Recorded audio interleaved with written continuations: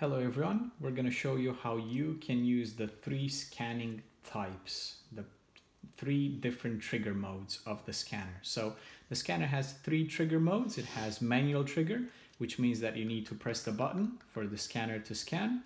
It has continuous mode, which means that it remains in a scanning mode. You don't, you don't need to press the button, it just continuously scans everything that it detects. And then there's sense mode, which means that it's only scanning when it's detecting movement.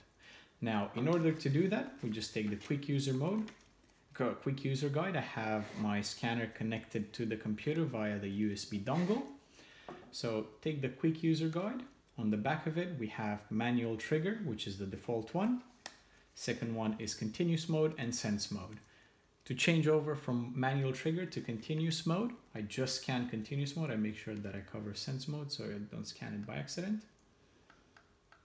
Scan it. And as you can see, I'm not pressing the button, but the light is on. So that means that it just automatically scans. You see, no button pressed, it just keeps on scanning. Yeah.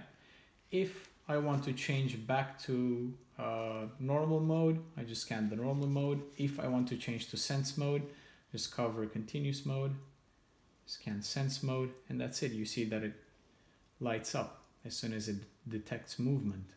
I stop moving it, as soon as I move it a bit, turns on again. That's pretty much it. Change back to manual trigger, you see? You scan it, and manual trigger, now I need to press the button. Otherwise I can move it, but it doesn't do anything until I press the button again and it works just fine. That's all. Thank you.